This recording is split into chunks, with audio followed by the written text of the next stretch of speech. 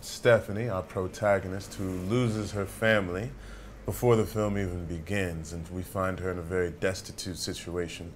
And she's given an opportunity to sort of seek vengeance for her family once she finds out that the plane crash that they died in was not an accident, but actually uh, an act of terror. Serra is sort of an informations broker. He uh, knows where people are, how to find them, uh, how to get to them, etc. And people pay him quite well for the information that he has access to. We meet Serra fairly later on in the film. Um, Stephanie is undergoing a transformation. She begins the film as a prostitute and is now sort of becoming a covert ops um, sort of specialist. And uh, Boyd has helped her make this transformation, and now she's seeking out Serra because he has information to help her find U-17, who is the individual responsible for the bombing of her parents' plane.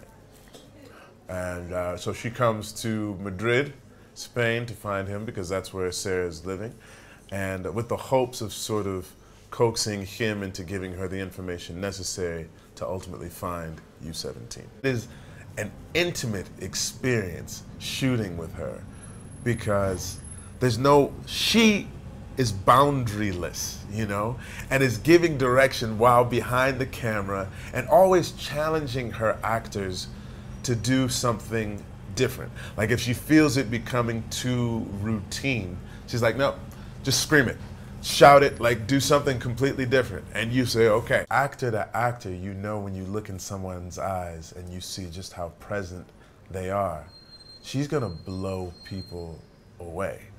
Um, Mrs. Reynolds got got skills to pay the bills, and uh, I'm I'm happy to really have this experience with her because not only did I make a friend out of it, but I i I've become a fan of her work as well. She's so committed so focused, um, and nothing like who she is as a person. She's a very vivacious, lively, you know, ebullient person, and this character is not that at all whatsoever.